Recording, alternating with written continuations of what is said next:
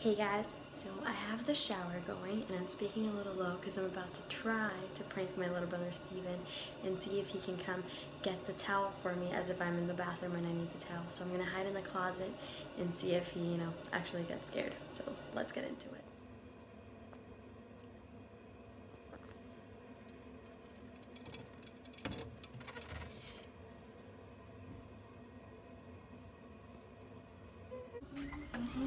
Ah! ah! You scared me! You pranked me! you did bad on me. Why did I do bad? Because you scared me! Well, that was the point. Well, that was the point of pranking me, but I don't, I don't like people pranking me. I, like, I was busy on my phone. Not funny, guys. I think I was.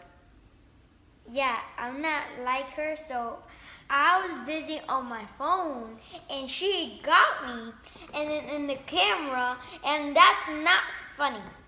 I think it is, and you guys will think it is, right? Do a like and a comment below if you think it's funny. No, don't do a comment. You're gonna do a you're gonna do a funny comment about me, and I don't like Because- funny. Yeah, because you're funny. I'm not funny. You're the one funny. You pranked me. well, I hope you guys like it. Bye, guys.